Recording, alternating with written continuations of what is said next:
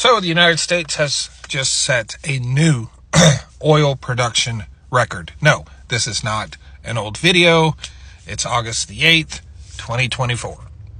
And for the first reporting week in August, the EIA has reported that we produced 13.4 million barrels per day during that week.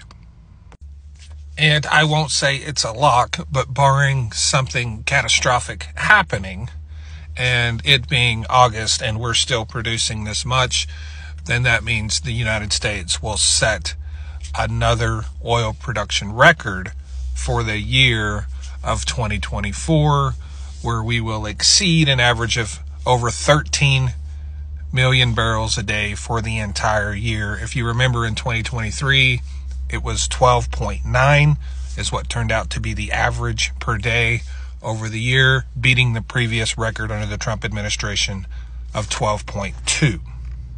This is not expected to lower oil prices because global oil demand continues to rise and OPEC continues to maintain their cuts.